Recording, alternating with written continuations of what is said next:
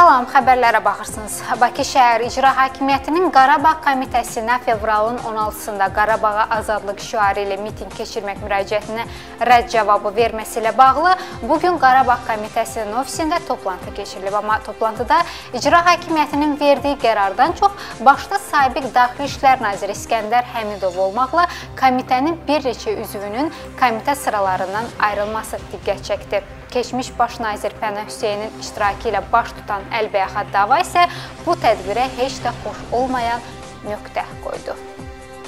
Bu gün Qarabağ Azadlıq Təşkilatının ofisində Qarabağ Komitəsinin növbəti tədbiri olub. Tədbirdə Bakı şəhər İcra Hakimiyyətinin fevralın 16-sında keçirilməli olan mitinqə icazə verməməsi ilə bağlı məsələ müzakirə olunub.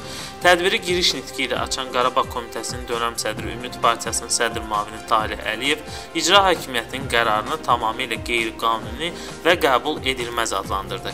Bildirildi ki, komitənin qaldırdığı Qarabağ məsələsi iqtidar müxalifət məsələsi, hakimiyyəti əldə etmək üçün başlanan məsələ deyil. Bu ümummilli bir məsələdir. Tədbirdə iştirak edən komitə üzvləri də icra hakimiyyətinin bu qərarına hiddətlərini dilə gətirdilər və növbəti mitinqlə bağlı çağırışlar etdilər. Belə qərar alındı ki, ki, martın 16-sında növbəti mitinq keçirmək üçün yenidən Bakı şəhər İcra Hakimiyyətinə müraciət olunsun. Amma bu dəfə İcra Hakimiyyətinin cavabından asılı olmayaraq bu mitinq hər bir halda keçirilsin. Məkan kimi razılaşdırılarsa məhsul stadionu razılaşdırılmamış olarsa fəvvarələr meydanında mitinq keçirmək təklif olundu. Təəssüflə qeyd edirik ki, bu qərarların böyük əksəriyyəti siyasi qərarlardır. Xalqın fikirləri nəzərə alınmır. Amma xalq öz fikrini eşitdirə biləcək gücdədir. E, ayın e, mart ayının 16-sına mitinq təyin elədik. Yəni burada xeyli ciddi e, fikirlər səsləndi. Hətta belə deyək, nisbətən radikal fikirlər səsləndi ki, artıq icazə və razılıq anlayışları aradan qalxsın və icazədən asılı olmaya biz aksiyamızı keçirək. İndi müraciət olunacaq, o məsələlərdə müzakirə olunacaq ki, əgər e, belə deyək, e, hakimiyyət növbəti dəfə e, səlahiyyətlərini aşaraq bizim mitinqimizə razılıq verməsə, biz e, razılaşdırılmamış aksiya eləyəcəyik. Yəni bu məsələ müzakirə olunacaq. Odur ki, bu məsələləri e, hakimiyyət nəzərə alsa daha yaxşı olar. Komitənin bu dəfəki tədbiri digərlərindən fərqləndir, çünki tədbir zamanı komitənin bir neçə üzvü Qarabağ komitəsi sıralarından ayrıldığını bəyan etdi. İlk açıqlamanı edən isə sabiq Daxili İşlər naziri Azərbaycan Xalq Hərəkatının sədri İskəndər Həmidov oldu. Komitənin işindən narazılığını bildirən İskəndər Həmidov açıqlamasında bildirdi ki, rəhbərlik etdiyi Xalq Hərəkatının nəzdində Qarabağ komitəsi yaradılacaq və daha effektiv mübarizə aparılacaq. 7-8 ayda eyni şüarlar səslənir, ya Qarabağ azad edil, ya get. Və hava qədər bu tip şüar gedəcək, məni qane eləmir. Mən onun tərəfdarıyım, get Qarabağ azad edil və heç kəsə heç bir vaxt verilməməlidir. Qarabağ elə bir ünlü məsələdir ki, onun ətrafında alver, mürtəkəziyə də yol vermək olmaz. Mən o qədər də basit, elə də dayaq düşüncəli adam deyirəm ki, başa düşmürəm ki, burada gedən oyun hara işarə olunur, nəyə işarə olunur. Ona görə də mən oyunda e, Qarabağ mənim ürəyimdir, Qarabağ iki gözümdür. Qarabağ uğrunda döyüşlərdə kim iştirak edir, kim iştirak eləməyib elan eləmirlər, amma Qarabağ uğrunda mütəkərrür eləyən insanlar məndən ötəri e, vətəndaş deyirlər. Tədbirin sonunda daha bir neçə üzv komitədən ayrıldığını bəyan etdi. Qarabağla bağlı olaraq bütün e, kim mübarizə aparırsa, həqiqətən sən mübarizə aparsa uğurlar diləyirəm. O cümlədən Qarabağ komitəsinə uğurlar diləyirəm. Mən e, fəaliyyətimi Qarabağa keçirdirəm, yəni Qarabağın özünə gedirəm.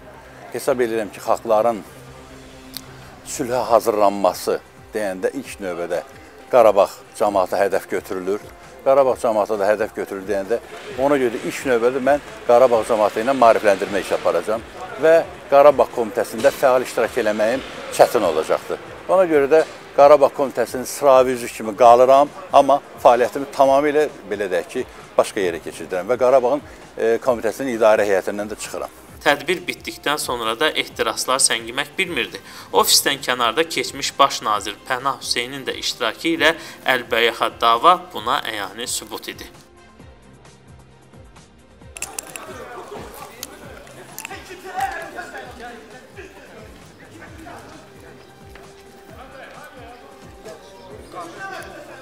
Saqqal adamsın. Camaatın da bunu. Kimler olsa beğenir, beğenir. Səhhəti pisləşərək xəstəxanaya yerləşdirilən sabiq rektor Abel Məhərrəmovun həkimi açıqlama verib. O bildirib ki, Abel Məhərrəmovun səhhəti hazırda normaldır. Bakı Dövlət Universitetinin sabiq rektoru Abel Məhərrəmovun səhhəti ilə bağlı həkimi açıqlama verib. Mərkəzi Klinik Xəstəxananın baş həkimi ürək-damar cərrahı Kamran Musayev açıqlamasında bildirib ki, Abel Məhərrəmovun səhhəti hazırda normaldır. O deyib ki, Abel müəllim dünən mərkəzi klinik xəstəxanasına daxil olarkən təzyiqi yüksək olub. Buna görə ona tibbi müdaxilə olunub. Dünən xəstəxanada həkim nəzarəti altında saxlanılıb və təzyiqi normallaşdırılıb. Hazırda Abel müəllimin səhhətində problem yoxdur. Bu gün evə buraxılacaq. Azərbaycan Xalq Cəbhəsi Partiyasının sədri müşavir Məmməd İbrahim bu gün Bakı Apellyasiya Məhkəməsinin qərarı ilə azadlığa buraxılıb. Fevralın 13-də Bakı Apellyasiya Məhkəməsi Məmməd İbrahim barəsində Cinayət Məcəlləsinin 317-2.1-ci maddəsi ilə məhkum edilməsinə dair Bakı şəhər Suraxanı rayonu məhkəməsinin 10 yanvar 2019-cu il tarixli hökmündən verilən apellyasiya şikayətinə baxıb. Müdafiə tərəfi bəraət istəsə də şikayət qismən təmin olunub. Belə ki, Məmməd İbrahimə təyin olunmuş 5 ay 22 gün azadlıqdan məhrum etmə cəzası azaldılaraq faktiki həbsdə yatdığı günlə əvəz olunub və o həbsdən azad edilib. Bu gün daha bir AXÇP üzvünün məhkəməsi olub. Bu məhkəmə isə ürək açan qərar verməyib. Belə ki, ali məhkəmə həbsdə olan AXÇP fəalı Fuad Əhmədlinin kassasiya şikayətini təmin etməyib. Kassasiya şikayəti Fuad Əhmədlinin cəza çəkmə müəssisəsindən məntəqə tipli cəza çəkmə müəssisəsinə köçürülməsi ilə bağlı olub. Fevralın 13-də Azərbaycan Ali Məhkəməsi həbsdə olan AXÇP fəalı Fuad Əhmədlinin kassasiya şikayətini təmin etməyib. Bunu Fuad Əhmədlinin atası Zəfər Əhmədli bildirib. Onun deməsinə görə kassasiya şikayəti Fuad Əhmədlinin cəza çəkmə müəssisəsindən məntəqə tipli müəssisəyə köçürülməsi istəyi ilə bağlı olub, amma Ali Məhkəmə şikayəti təmin etməyib və rədd cavabı verib. Fuad Əhmədli 2016-cı il avqustun 17-sində saxlanılıb ittihama görə o işlədiyi Azerfon şirkətində texniki vasitələrdən istifadə etməklə bir sıra müştərilər haqqında fərdi məlumatları kənar şəxslərə ötürüb.